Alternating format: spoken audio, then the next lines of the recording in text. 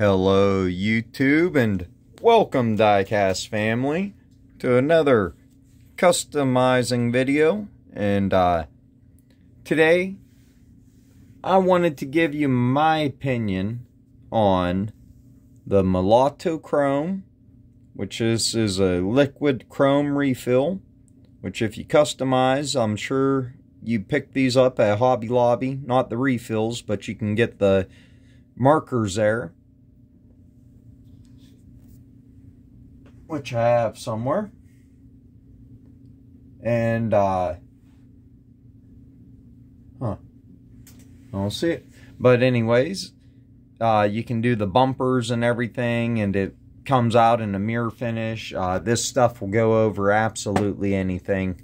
Uh, doesn't require a base or nothing. Uh, absolutely amazing product. Now the Alclad it's a little different. I'm still working with it, but uh, I'll show you the differences and the things that I have found out about it. Now, uh, the Alclad requires a black base, which uh, it's a gloss black base.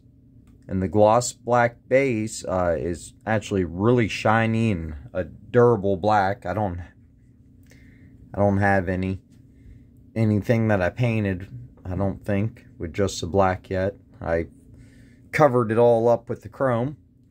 And then you have the Alclad chrome, which uh, this stuff is amazing. I mean, it, it doesn't take a whole lot. You only put on one or two thin coats until you get it to where you want it.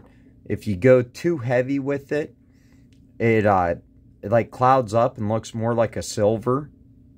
So you have to go light, light enough where the black will shine through because the black is where you get like the chrome effect from.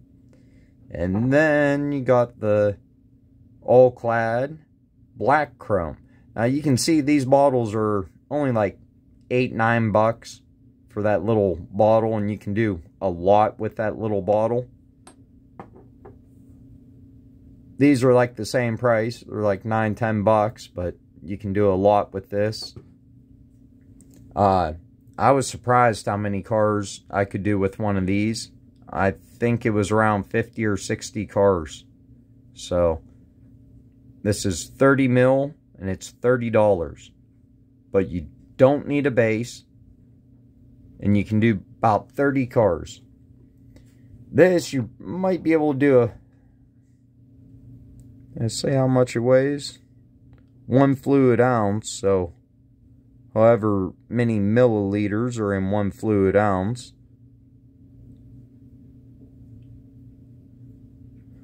I would almost say you could do about the same amount of cars. Or maybe even double. You might be able to do 60 cars with that. So it might go a lot further. But we'll we'll compare them I mean, I can very obviously see what I used what on.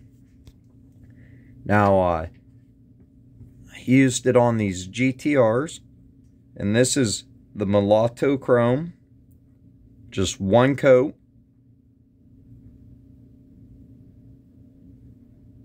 And I've polished the bodies before. I've sanded the bodies before. But uh, I get the best effect like this one, I just take a stainless steel or brass wire brush to it. Uh, one that looks like a toothbrush. Uh, the ones you buy real cheap. I just brush it over until it's nice and shiny. And then the Molotow chrome fills in all the little scratches. Just like if you would sand it smooth, it would fill in all the little scratches. So if there's like really bad imperfections, I'll sand them out but very nice how it's just one step. Now, unfortunately, this will fingerprint. Uh, it will scuff. It will scratch. You can't touch it. This, you cannot touch. Like, that's why I'm holding it the way I am. Because it is very, very sensitive. And plus, you don't want to get fingerprints or oil from your hands on it before you paint it.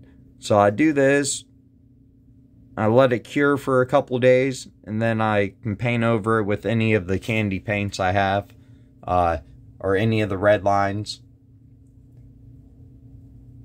Now, I've polished castings before to like a mirror finish and used red line paint on them, and uh, I get pretty much the same effect as I do just from uh, going over one of these with the wire brush and painting over it with the Molotow. So it's just a, an absolutely amazing product. When you apply it with the airbrush, uh, can't thin it or nothing. I apply it at like 20 psi with uh, 0.5 needle, and uh, you got to go on heavy. You just do one coat, one coat heavy. Soon as you get the mirrored wet, soon as it looks mirrored and looks like this, you quit. You don't go on any heavier or it will get cloudy and just look silver.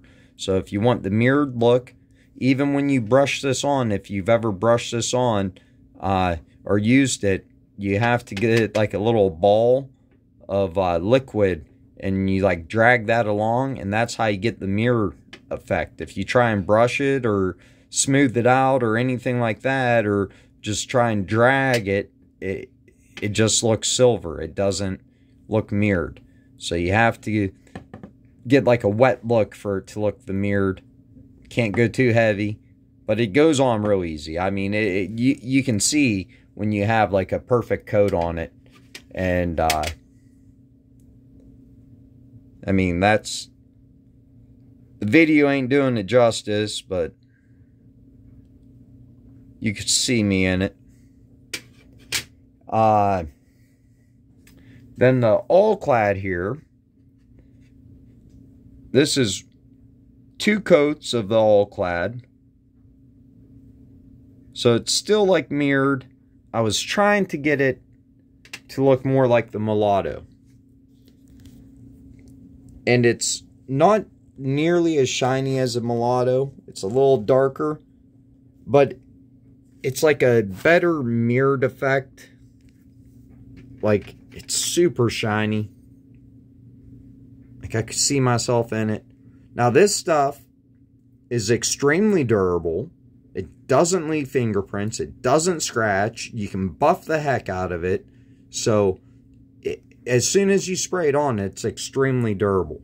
Now what I found out though, when I put my one candy color over it, and I went with a wet, because uh, whenever you're painting, especially like a candy, you always want to do like a wet coat. Not so wet it's going to run, but wet enough where it's not going on dry. If it's going on dry, it won't give it the candy look. So you have to do like a wet look, wet coat on it, I like to call it.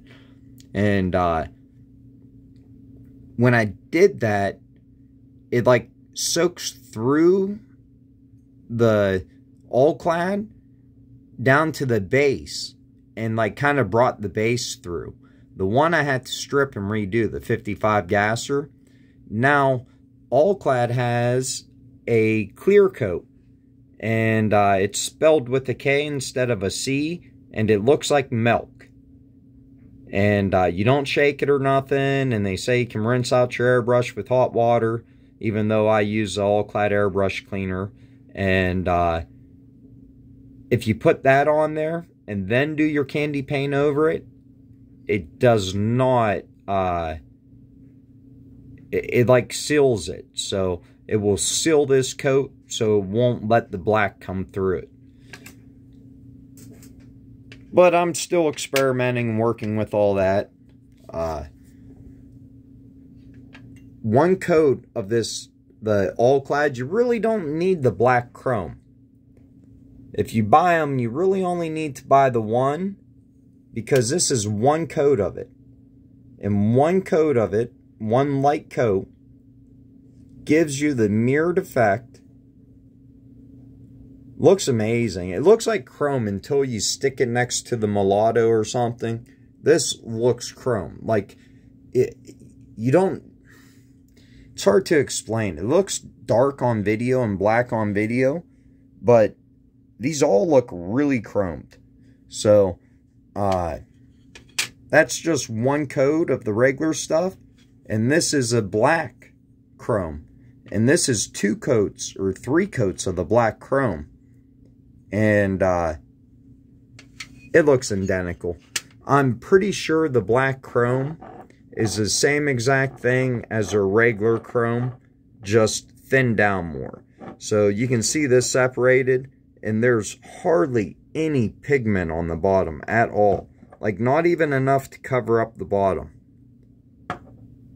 And this one, I just used it a little bit ago, but, uh, so I shook it up, but it doesn't separate like this one. It When it separates, it's a lot heavier on the bottom.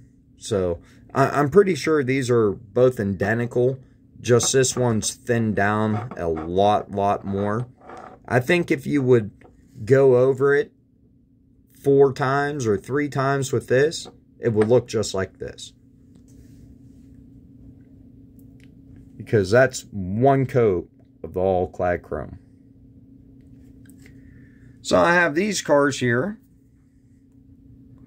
I have these six done with Alclad chrome. And these seven done with Alclad black chrome. And I clear coated them. So they're all clear coated and ready to go. In my next video, we'll be testing out some Tamiya candies. I have them all in these bigger ones. They have five of them. But they're all a clear red. So if you like seeing videos like this, hit the subscribe button. More to come. If you're just here for the Hot Wheels and uh, you don't care about the paint or the customs, and uh, still hit the subscribe button, but you don't have to watch these videos. You can just wait until I post one with Hot Wheels. because I love my Hot Wheels and I will be posting a bunch of Hot Wheel videos. You can see all my, that, them are all too deep. So there's over 2,000 or 3,000 main lines there. I ran out of room for my cases. I have another shelf full of them too. But, and then I got uh, some AK clearers I want to test and some Mr. Color clears that I want to test. And I want to test all the Mr. Uh, Color, Miss uh, the metallics, Mr. Metallics. And then I got a bunch of splash paints. This is actually a, like, they're all automotive paints. So, like, they're all cars you would have heard of. Like Twister Orange. And it says right on it, apply over a light colored base, which is awesome. And then this one, Jägermeister Orange. Can't wait to try that out. But these are all perfectly matched to the real car colors. This is Grabber Lime Green. So I can't wait to test out all these paints. Only got one Gaia. Guess these are hard to get in the U.S., but this is a clear red. So I thought we'd give it a try. Or no, a clear orange. This is a clear orange. Can't wait to try this one. AK metallic purple.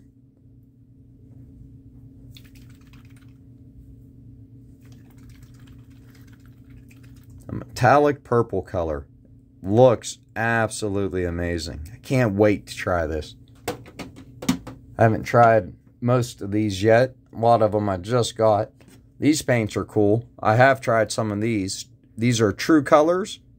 And uh, they started out by doing all the railroad lines in America with accurate paint colors, and now they've been doing cars. They got Metal Candy Apple And we have done some of these, so we did this one, Candy Apple Red. Turned out amazing, which I got an update for that I'll show on a future video. And then what's this one? High Gloss Grabber Green. So, just wanted to give you my opinion on uh, the Alclad chrome compared to the Molotow liquid chrome. I prefer this because it's easy. It's one step. I don't have to clear coat it. I don't have to do anything. Just strip the casting, wire wheel it, paint it.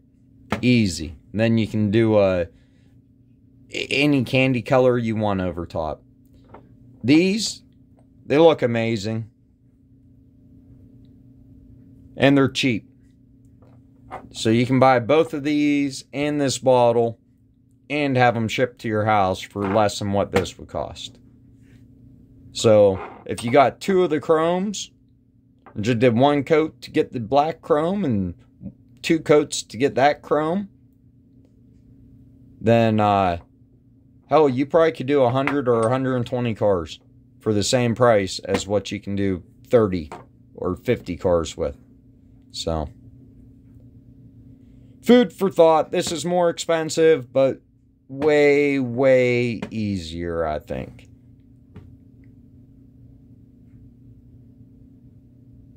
So, that's all I got to show you today. Make sure and stay tuned. I think these cards are going to come out awesome painted with the Testors candy, but I, I won't know until I do it. So, that'd be the next video I post. Maybe, maybe not. We'll see. Have an awesome day.